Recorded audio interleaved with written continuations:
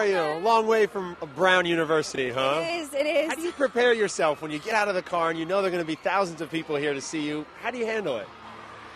I just, um, I don't know. I don't know how I handle it. I, um, I guess you know I've done. I know what to expect, which is one thing, but it certainly doesn't stop the nerves. The adrenaline still really, really gets to you. So There are lots of intimate moments with you and Daniel in this movie, dancing and kissing. How was it working with someone you've grown up with in such a intimate way?